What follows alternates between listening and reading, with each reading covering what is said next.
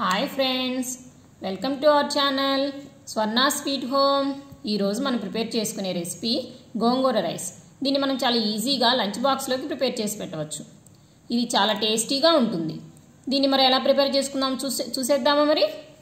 దీన్ని తయారు చేసుకోవడానికి కావాల్సిన పదార్థాలు పోపు దినుసులు ఎండుమిర్చి పచ్చిమిర్చి గోంగూర ఉడకబెట్టుకొని గ్రైండ్ చేసుకోవాలి. కారపొడి ఆనియన్ కరివేపాకు.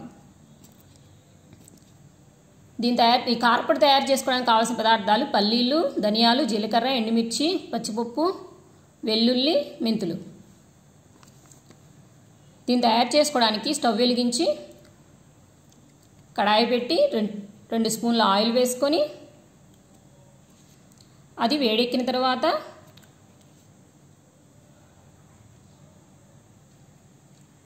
దానిలో కొన్ని పల్లీలు.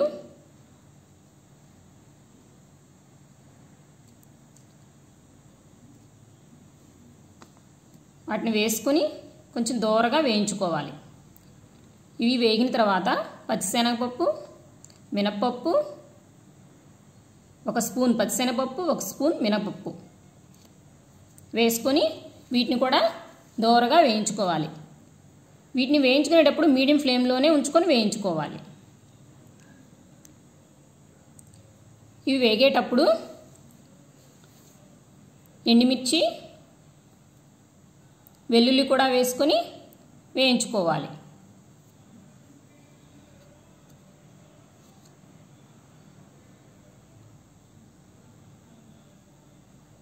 ధనియాలు జీలకర్ర మెంతులు అవి కూడా వేసుకొని దోరగా వేయించుకోవాలి.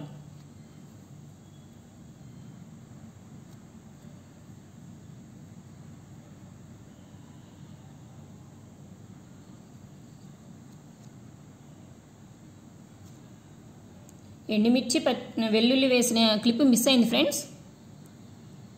తర్వాత దీన్ని ఒక జార్లోకి తీసుకొని గ్రైండ్ చేసుకోవాలి.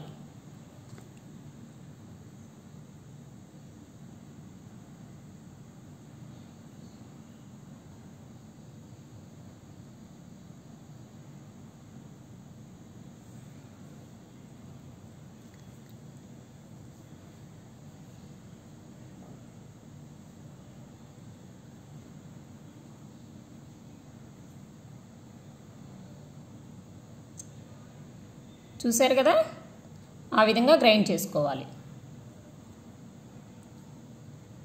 తర్వాత స్టవ్ వెలిగించుకొని మరొక కడాయి పెట్టుకొని దానిలో తగినంత ఆయిల్ వేసుకొని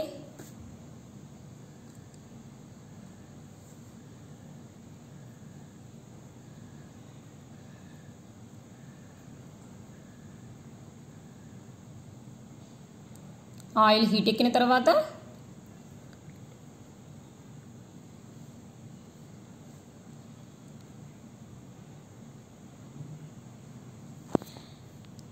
కట్ చేసిన వెల్లుల్ని ఒక నాలుగైదు వెల్లుల్లి రెబ్బల్ని చిన్న ముక్కలుగా కట్ చేసుకొని వేసుకోవాలి. అవి వేగిన తర్వాత పోపు దినుసులు అవి కూడా వేసుకొని దూరగా వేయించుకోవాలి. అవి వేగిన తర్వాత ఎండుమిరపకాయలు పచ్చిమిరపకాయలను కూడా వేసుకొని వేయించుకున్న తర్వాత కరివేపాకు కూడా వేసుకొని వేయించుకోవాలి. ఇవన్నీ బాగా వేగిన తర్వాత కట్ చేసి పెట్టుకున్న ఆనియన్ని కూడా వేసుకొని బాగా వేయించుకోవాలి. తర్వాత మనం ఉడకబెట్టి గ్రైండ్ చేసుకున్న గోంగూర పేస్ట్ని కూడా దానిలో వేసుకొని బాగా కలుపుకోవాలి.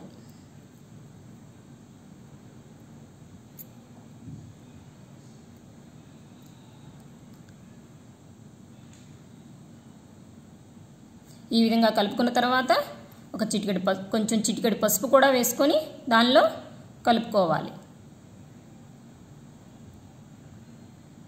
తరువాత మనం ఆల్రెడీ బాయిల్ చేసుకున్న రైస్ని దానిలో యాడ్ చేసుకోవాలి.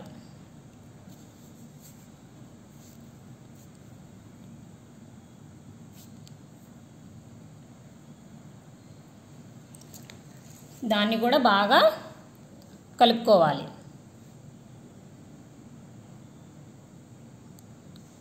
చూసారా? వీడియోలో చూసినట్టుగా ఈ విధంగా బాగా కలుపుకోవాలి. కలుపుకున్న తర్వాత మనం ముందుగా రెడీ చేసి పెట్టుకున్న కారపొడి ఉంది కదా ఫ్రెండ్స్? దాన్ని కూడా వేసుకొని కలుపుకోవాలి. బాగా కలుపుకోవాలి.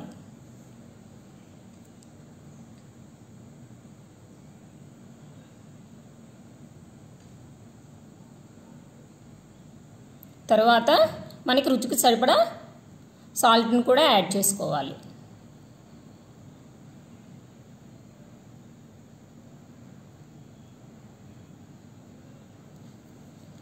సాల్ట్ని కూడా వేసుకొని బాగా కలుపుకోవాలి. అంతే ఫ్రెండ్స్. కొత్తిమీర వేసుకొని స్టవ్ ఆఫ్ చేసేసుకుంటే గోంగూర రైస్ రెడీ అయిపోతుంది. చూసారా ఎంత ఈజీగా ప్రిపేర్ చేసుకోవచ్చో? రెడీ అయిపోయింది. దీన్ని సర్వింగ్ బౌల్లోకి తీసుకుందాం.